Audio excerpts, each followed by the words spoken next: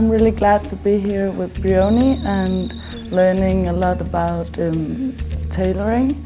First of all, getting into the Royal College of Art is hard enough and then you know you hear about this Brioni project and it's a dream.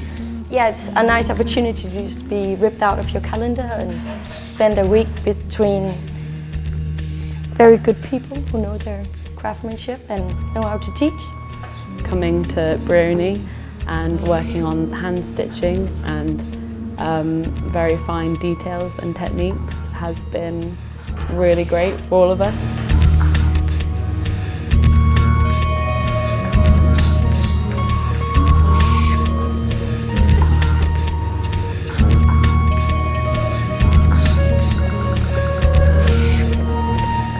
I definitely feel so grateful to be able to come to Brioni and experience and see how the tailors work.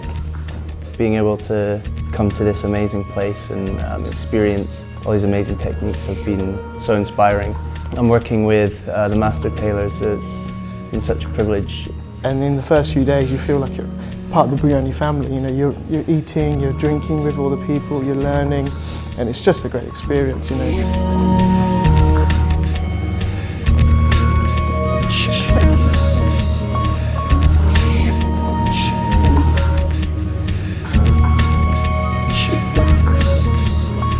And it's just been a really great, fantastic experience and you feel very lucky to be here. You know, I really want to bring that back when I go to London, you know.